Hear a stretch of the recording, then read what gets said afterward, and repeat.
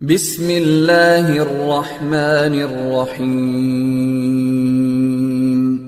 رب زدني علما Okay, so now let's see how this process exactly happens. So the first thing we'll start with OSPF neighbors, the becoming neighbors, the first step. Now this is your first step whenever you configure the OSPF normally. So the OSPF process will start with something called hello messages. Now uh, by default, this router one and the router two, let's say these are the two routers what we have. And these two routers are like strangers. They don't know anything about each other. And whenever I configure the OSPF on this particular router, let's say, so again, the configuration also we'll see later on. So let's assume that we have configured the OSPF on this particular router. So it will uh, start sending the hellos. But before it starts sending the hellos, like uh, let's say I have just configured OSPF on this side and I have not configured anything on the other side. Now, basically this stage is something like the down stage or maybe uh, downstage is a kind of initial neighbor relationship state where both the routers are completely strangers or indicates that uh, I'm not receiving any hellos from the neighbor. Maybe OSPF is not configured or maybe there is some problem with the link or whatever it is. Or sometimes, you know, the neighborship has established and the link has gone down. Then in that scenarios also the neighborship will be in the downstage. So the downstage is like an initial process where the routers are like strangers. They don't know anything about each other, or maybe they have not received any hello packets from the other side. Now, once you configure the OSPF, the process goes into the next stage called initialize stage. Now, in the initialize stage, they exchange the hello messages with each other. Like if you take an example, the router one and the router two, let's say we are trying to establish the neighbor relationship between these two routers. Now the router one is going to send out a hello saying that, okay, hello, I'm so-and-so. It will send its uh, some ID. We call it as router ID again. We'll talk about router ID in the next slides. So it says, I'm so-and-so. This is my name. Generally, the name is referred as router ID. And it's going to send out a hello saying that I, I see no one. Is there anyone who is also running the OSPF? and these hello messages are sent on a dedicated multicast address. So by default, there are dedicated multicast addresses used like 224.0.0.5 and 6 is used for OSPF. Again, 6 is used in uh, separate scenarios. We'll see that in the DR BDR concepts. So, and also like EIGRP uses the multicast address of 224.0.0.10. And if you're using RIP protocol, RIP version 2 protocol, it uses 224.0.0.9 like that there is a dedicated multicast address used by each routing protocol. So initially it is going to send out a hello saying that uh, I see no one. Basically the hello says and here we are assuming that we have configured the OSPF here and maybe the OSPF is not configured yet on the router 2 but once you configure the OSPF on this router 2, now the router 2 will listen to these hello messages. Now these multicast addresses are like a dedicated address which is listened only by those specific protocols. Like all the OSPF routers, so if I'm running some OSPF routers, they all listen on this address 224.0.0.5. So if the opposite router is not running OSPF, then basically it will not listen to this hello message unlike broadcast. If you know broadcast the broadcast is something everyone uh, listen to that broadcast. But the multicast is like only selected group and this address is reserved for multicast of OSPF protocol. And when we configure the OSPF on this router it will listen to that hello message and it is going to reply back with a hello again basically the reply will come as a unicast and in that reply it will include its ID whatever the ID it is using. And the reply normally comes as a unicast. So this is what happens in the initialize stage. Uh, in simple words, we can say the router will exchange hello messages. So it sends a hello and you get a reply to that hello packet in the next step. And once I get a reply, basically now we call this as initialize stage and then they come to a two-way stage where both the routers are neighbors. And now they become neighbor table. Uh, they establish something called neighbor table, and we can call them as neighbors now. like I said, what is initialized stage? Initialized stage indicates that the hello packets has been received from the other router.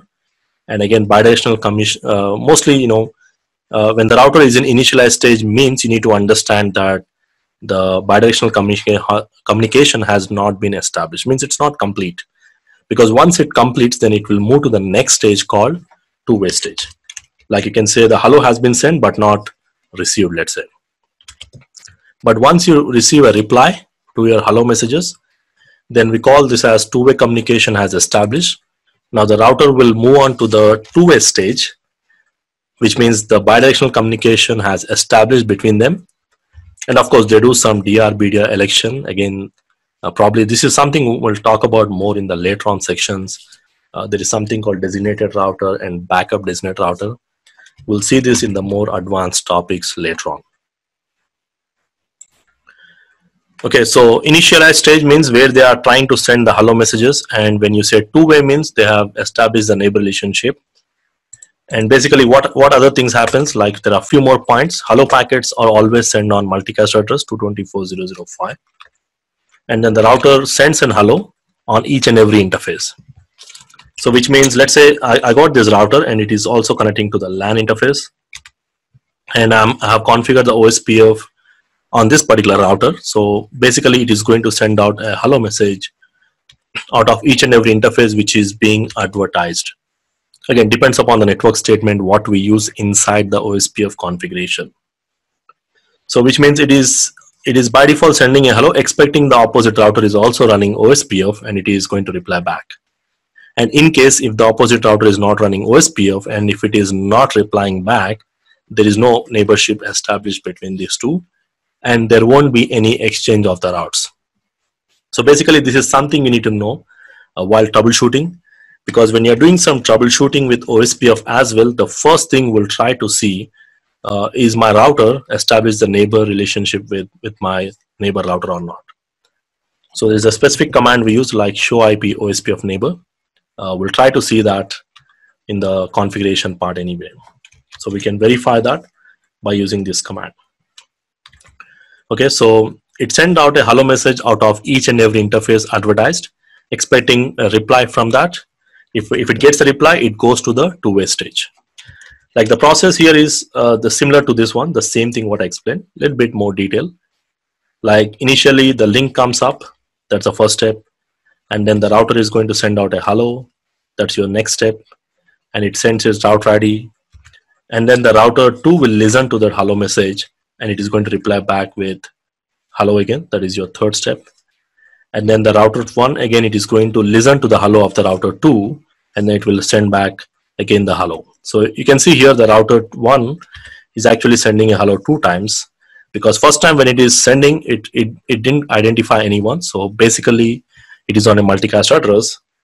And and then this particular router to listen and reply and then it will reply back. So that that becomes two way now, if you remember, I said two-way means uh, bidirectional hello messages being sent.